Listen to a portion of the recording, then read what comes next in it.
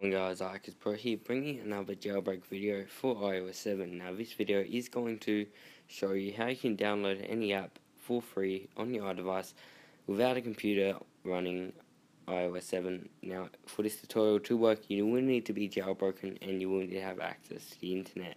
No sync cable or anything like that is required for this video. So first off you do want to head over into Cydia and you do want to download this app called AppSync for iOS 7. Make sure it's the iOS 7 one and it is available for free from the Hack Your iPhone repo. Now, after you have done that, you want to download VShare from Cydia as well, or you could download it from their website. I'll make sure I have the link in the description for you guys below. But, um, yeah, so once you've done that, you want to head over into VShare.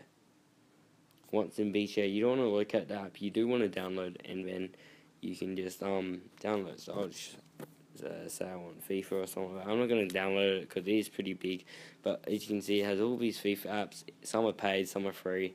It's basically all the apps for the App Store, and on here it is all free. So once you have downloaded the app, it will go into this section and it will say downloading and if it is on zero just go back and choose a different direct link as some the servers are pretty full at the moment as they've said so it's getting a lot of traffic so that's why it isn't downloading as fast as they would have wanted. Once it has downloaded, you want to have, swipe over to this tab and it will automatically start installing for you and you will get notifications once the app is installed. If you are having problems with VShare downloading and it just keeps on doing a loop or something like that, um, just choose a different source and install it from there. Now you will be required to do a respring to install AppSync and VShare, but that is about all guys.